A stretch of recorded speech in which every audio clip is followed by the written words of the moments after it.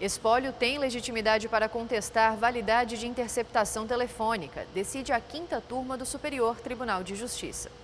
O entendimento do colegiado foi o de que o espólio tem legitimidade para contestar a validade de uma interceptação telefônica realizada durante investigação criminal, mesmo tendo havido a extinção da punibilidade pela morte do acusado, e especialmente quando o patrimônio dos herdeiros possa ser afetado em ações civis baseadas em provas emprestadas da ação penal. O caso envolvia ações de improbidade administrativa e chegou ao STJ após o Tribunal de Origem não reconhecer a legitimidade do espólio por entender que a extinção da punibilidade extingue a própria pretensão punitiva.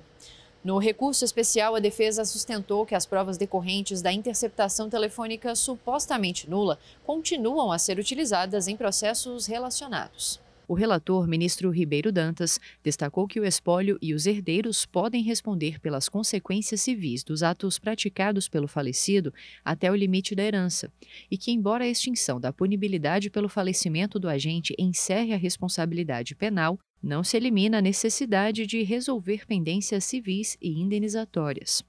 O voto do relator foi seguido pela quinta turma, com o entendimento de que a utilização de prova emprestada, questionada no âmbito do processo penal, e a inadmissão dos embargos de declaração opostos pelo espólio devido ao não reconhecimento da sua legitimidade comprometem o exercício do contraditório e da ampla defesa.